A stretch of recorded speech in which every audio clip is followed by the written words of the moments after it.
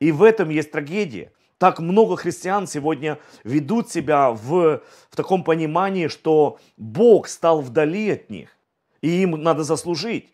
А он говорит, вам нужно вам нужно четко, четко понимать, почему вы не получаете, почему вы просите, казалось бы, вы молитесь, и Бог как будто бы глухой для вас.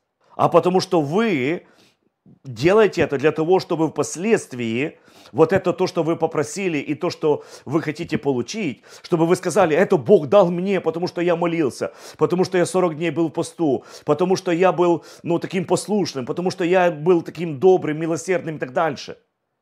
И Бог говорит, нет, нет, нет, нет, нет. Я не хочу, чтобы ты, чтобы ты так поступал.